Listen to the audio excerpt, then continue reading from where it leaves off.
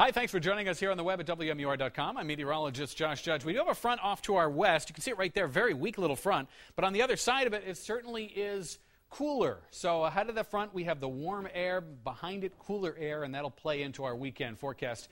But since we're in that warmer air tonight, we are still talking about some warm temperatures for our overnight from Friday night into Saturday morning. Warm and even a bit muggy out there. For Saturday, here's the setup of the cool front that'll slowly be crossing the state like this. So that means if you're out in front of this, you're going to be warmer tomorrow for your Saturday. 70s, even some lower 80s in the southeastern part of the state, a possibility.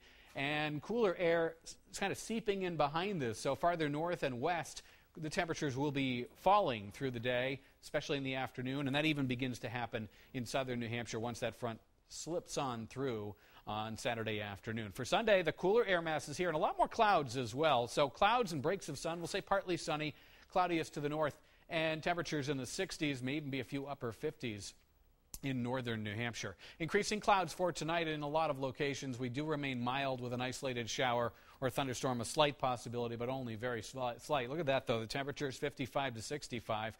And then a mostly sunny Saturday for you. Extra clouds in the mountains and uh, breezy conditions at times as that front slips through the state during the day on Saturday tomorrow. We will see the breeze kicking up, gusting to 15 to 25 miles per hour at times and falling temperatures behind it.